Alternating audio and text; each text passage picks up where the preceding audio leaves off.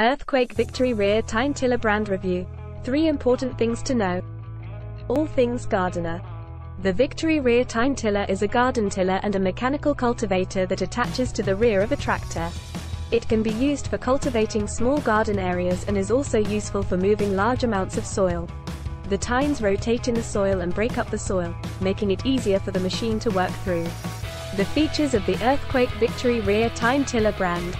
It is a rear tine tiller that has an easy to operate lever that makes the machine easier to operate. The machine is lightweight and compact and its engine is quiet. It has a very powerful motor and gives you a very smooth tilling experience.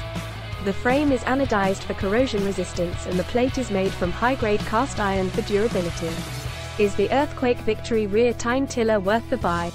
The tiller comes with a high-quality steel frame that is made of heavy-duty steel and features an integrated handle for easy transportation.